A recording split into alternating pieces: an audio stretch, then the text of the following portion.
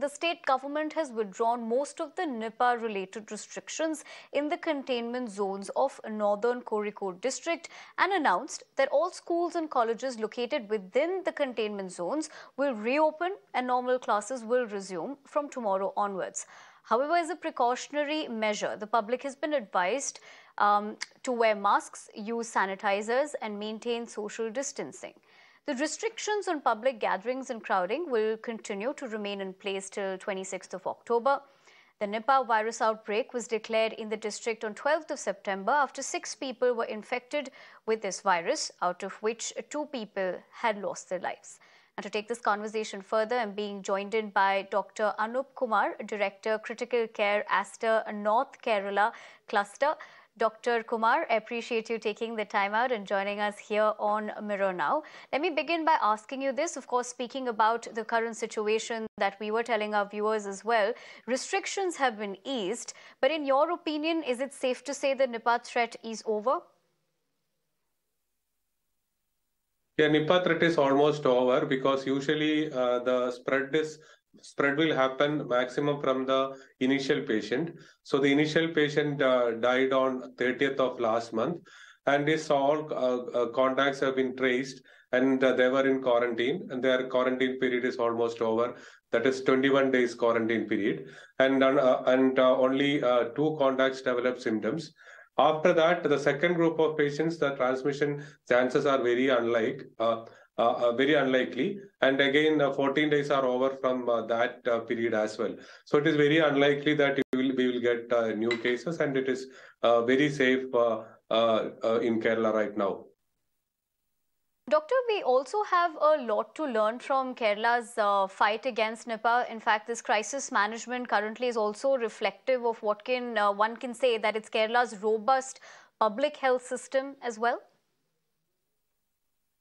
Yeah, obviously, uh, uh, the, the public health system is uh, uh, very uh, efficient here in Kerala. That is why, as a clinician, uh, when when we had a doubt, we have immediately communicated to the the integrated disease surveillance program team and the state health team. So the, that moment itself, they have started the surveillance in that area. They started screening all the contacts. The contact lists are prepared. Uh, then again, uh, the route map for that area was prepared, and the containment, uh, uh quarantine, all such uh, uh, the, the preventive measures were in place within few hours. So the system is so vigilant and efficient. Right, uh, but doctor, of course, uh, you know, that is about the Nipah virus, but we're also witnessing the rise in uh, dengue cases. Um, so in your opinion, what are the best measures one needs to take? And could you also help us bust certain myths surrounding dengue for our viewers? The dengue fever is basically uh, uh, like a, a, a mosquito-borne uh, infection. So the main the the the main uh, areas should be the uh, the mosquito control itself. So the uh, the the public health system should act in such a way that they should have proper mosquito control measures, and the public also should be taught that how uh, they have to maintain their surroundings very clean. Uh, they should uh, avoid the the containers with with hold which can hold water, etc. So that should be taught properly. And the clinicians also should be able to uh, pick up the cases easily with uh, appropriate test and uh, misuse of antibiotic, other uh, painkillers, etc. should be uh, also be uh, carried out in such cases. Right, doctor. On that note, I want to thank you very much for joining us here on the broadcast. Not only sharing us, uh, sharing with us your perspective, but also telling our viewers uh, what precautionary measures they should be taking. Uh, but as we talk about this situation as well, remember there is a surge of uh, cases in dengue across the national capital. But politics too is speaking with the opposition BJP, targeting the AAP government for failing to control the mosquito menace. Now, BJP MP Parvesh Verma took a jibe at the Kejriwal Government and said that while Delhi Chief Minister promised to make Delhi dengue free, he has clearly failed to do so. Verma also said the BJP will hold a protest over dengue surge on September 29th. Now, the Delhi civic body, which is now controlled by AAP, denied any cover-up on its part and said that while over 3,000 cases have been recorded in the first six months, this year, only one death has occurred due to the dreaded disease. The MCD admitted that dengue is on the rise. A number of cases reported in September was the highest in the last four years.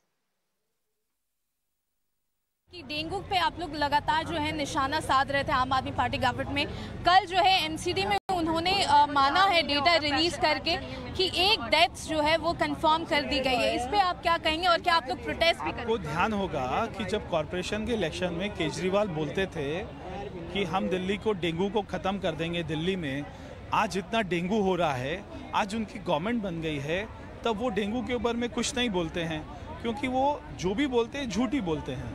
आप लोग protest करेंगे sir हाँ हमारी party protest करेगी।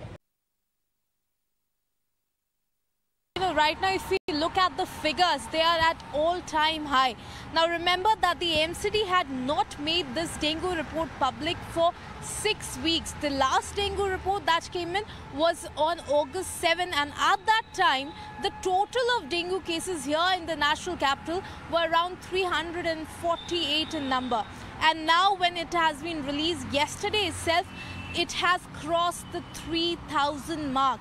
At this moment, the total number of dengue cases in the national capital stands at 3013 and MCD has also confirmed one death due to dengue here this very year.